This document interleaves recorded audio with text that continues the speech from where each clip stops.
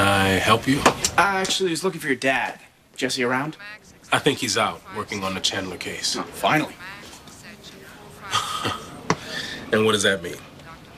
Oh, just that, you know, with everything going on with you, I think your dad's been a little overextended, but it's good to hear he's back out on the job. And that you're feeling better, of course. Well, I've had a lot of support. My family, my wife. It's a beautiful woman, your wife. Really hit the jackpot, didn't you? How do you know the DA?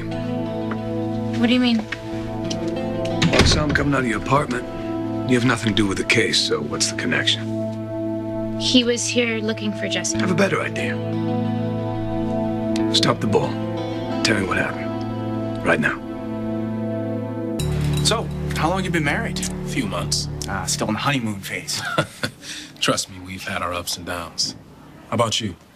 How long you been with your wife? Ah, a few years.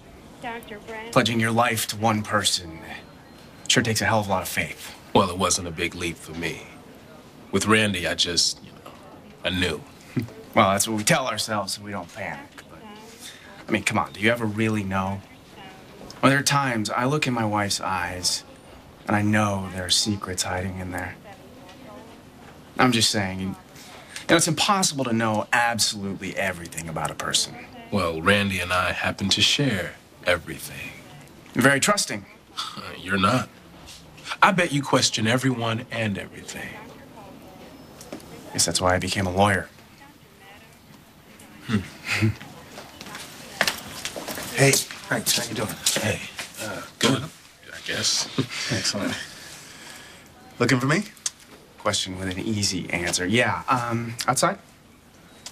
Good to see you again, Frankie.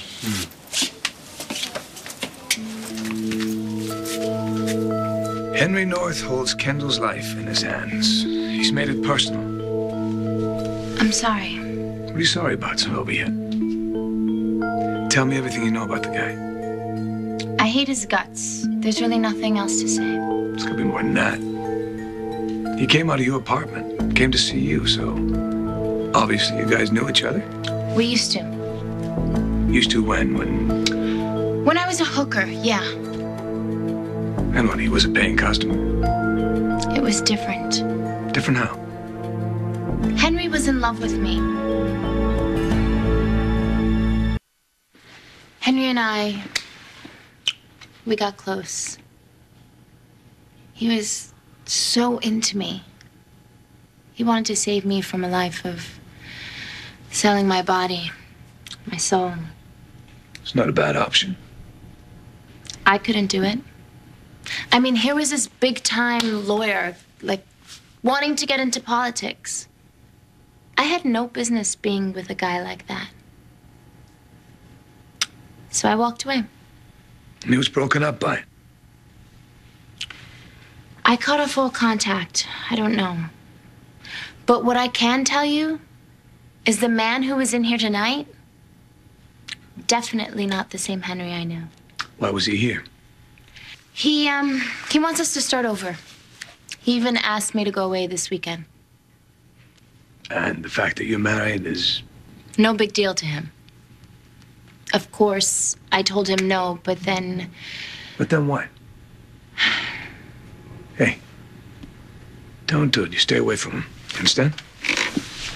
But what if I can What if you what? If you can fix him, heal him, you can't. The man is dangerous. Eh, I, I can't stand what he's doing to Kendall. And to Jesse? I mean, I know he's not Jesse's boss, but he can still mess with his job. It just makes me sick.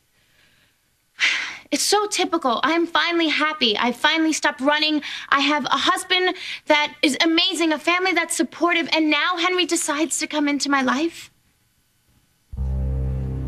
Just so you know, this conversation never happened. Thank you.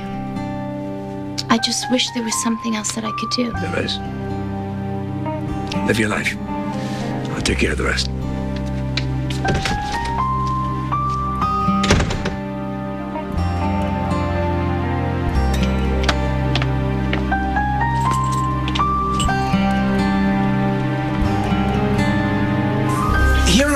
Thinking the day is a complete bust when Ryan Lavery and his good buddy Tad Martin waltz into my office.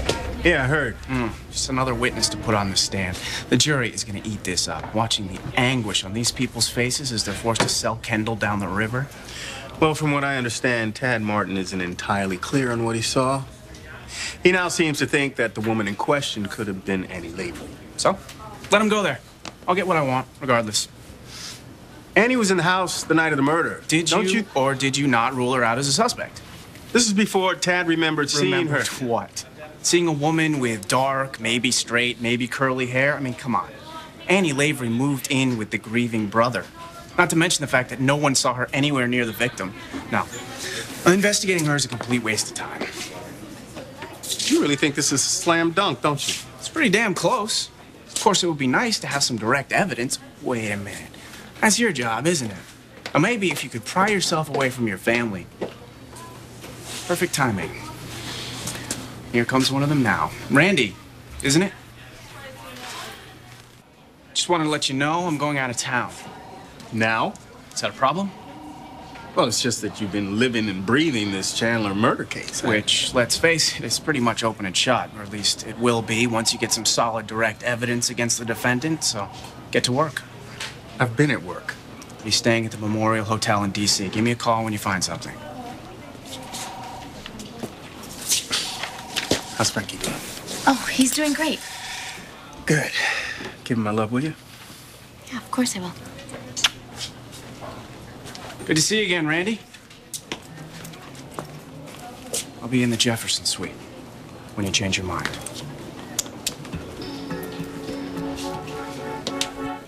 Sounds like it doesn't even matter whether Kendall did it or not. This North guy, he's gonna toast her anyway. He came by here earlier. What? Why? He was looking for my dad. I feel bad for him, you know? Jesse, I hope you mean. He thinks Kendall's innocent, and this DA, he won't hear it.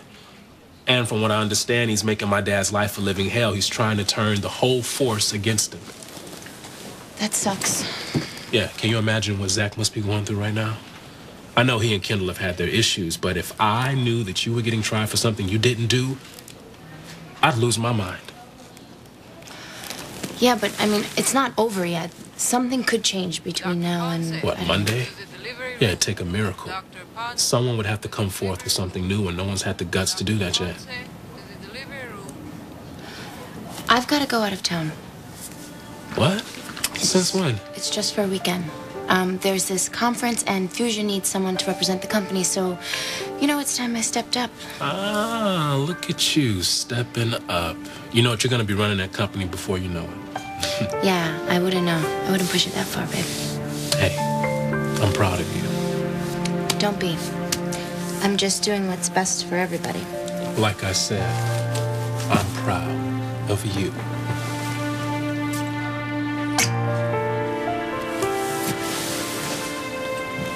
Frankie, I love you. I love you too.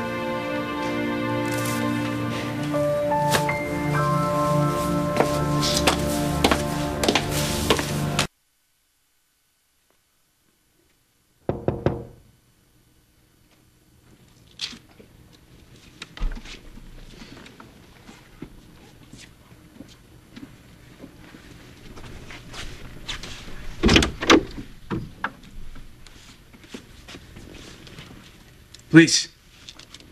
Come in.